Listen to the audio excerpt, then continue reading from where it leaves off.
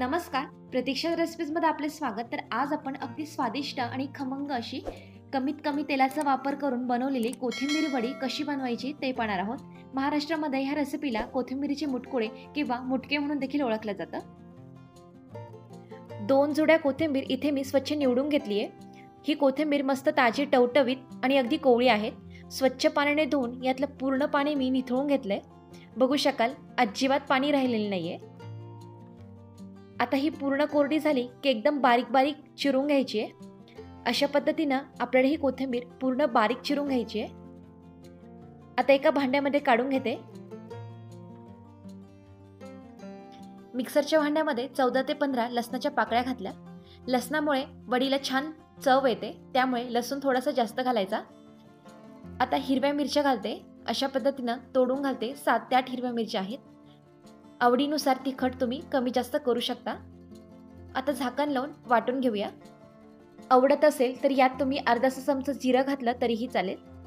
अशा प्रकारे वाटून घेतलं. आता पिठं कोणकोणती लागेल ते पाहूया. दोन वाट्या बाजरीचं पीठ घेतलं. दोन वाट्या बाजरीचं पिठासाठी एक वाटी गव्हाचं पीठ. अर्धीशी वाटी बेसन पीठ. बेसन पिठामुळे वडी छान खमंग लागते. आता सर्व पिठं कोथिंबिरीत घालून घेऊया.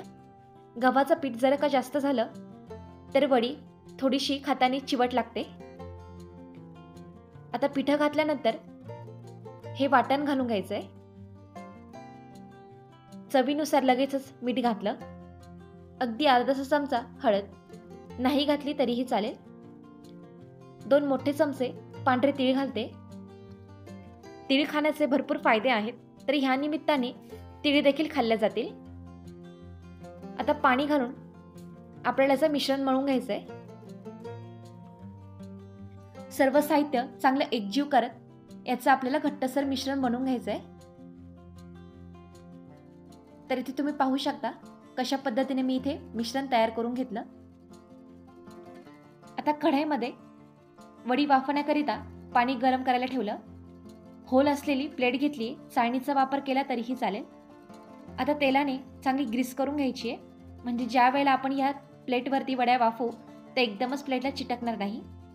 आता कढईवर झाकण ठेवून पाणी उकळून देऊया. आता एकीकडे लगेचच वड्या बनवायला सुरुवात करूया. हाताला तेल लावून घ्यायचं म्हणजे वडी चिकटत नाही. आता इथे तुम्ही बघू शकाल कशा पद्धतीने मी वड्या बनवून घेते. अगदी हाताचे मुटके बनवले तरीही चालतील. खूप जाड पण ठेवायची नाहीये. आता एकीकडे पानाला देखील उकळ आली आहे तोपर्यंत मी सर्व वड्या बनवून घेतल्या. प्लेटमध्ये मावतील इतपत. आता कढाईवर ही प्लेट ठेवून वरतून झाकण ठेवली. आणि गॅसची फ्लेम मध्यम ठेवून एक दहा मिनिटाकरिता वाफून देऊया. दहा मिनिटे झालेली आहे. झाकण काढून पाहिलं. दहा मिनिटात वड्या छान वाफवल्या जातात. आता काढून घेऊया. खाली प्लेटला आपण तेल लावून घेतलं होतं. त्यामुळे वड्या काही प्लेटला एवढ्या चिकटत नाही आहे आता बऱ्यापैकी या वड्या आपल्याला थंड करून घ्यायच्या आहे. म्हणजे कापताना सोपं जाईल. हाताला सोसल इतपत या थंड झाल्या की लगेचच कट करायला घ्यायच्या. सर्व वड्या कापून घेतल्या आता पूर्णपणे तेलामध्ये न तळता मी या फक्त फ्राय करून घेणार आहे. तर एका पॅनमध्ये दोन मोठे चमचे तेल घातलं. तेल जास्तीचं गरम होऊ द्यायचं नाही आहे लगेचच यात एक मोठा चमचाभर तीळ घातली. हे पूर्णपणे ऑप्शनल आहे नाही घातली तरीही चालेल. जर तेल खूप जास्त गरम झालं तर तीळ एकदमच उडायला सुरुवात होते. त्यामुळे तेल गरम असतानाच तीळ घालायची आहे लगेचच कापलेल्या वड्या देखील घालून घ्यायच्या.